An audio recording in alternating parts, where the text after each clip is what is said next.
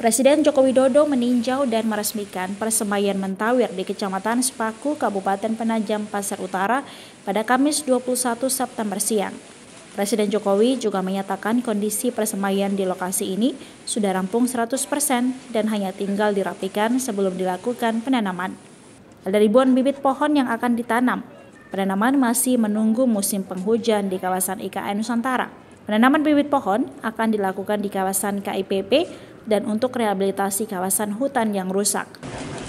Dulu kita masuk belum kelihatan. Sekarang ini sudah hampir 100% selesai, tinggal rapi-rapiin aja.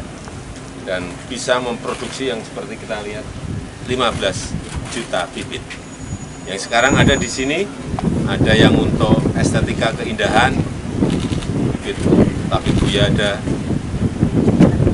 pucuk merah ada, yang nanti untuk mempercantik. Dan tabi buaya bukan hanya satu macam, ada yang bunga ungu, bunga putih, bunga kuning, semuanya ada. Persiapkan semua di sini. Kemudian juga ada yang pas growing spesi, sengon abisia, ada, dan salam, dan endemik. Yang ketiga yang endemik, yang tro, kartase, ada apa kapur, ulin, soria, meranti, blangkeran, kapur, kamper, semuanya ada.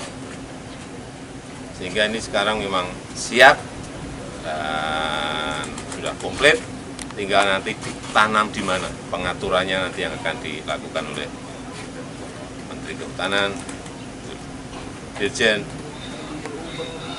otoritas yang itu akan mempercantik kota dan mengembalikan hutan-hutan yang ada di sekitar Nusantara menjadi tropical rainforest lagi, bukan hutan pemukin. Ya. Beragam bibit tanaman termasuk tanaman endemik Kalimantan ada di kawasan persemaian dan akan menjadi hutan tropis bukan lagi hutan homogen.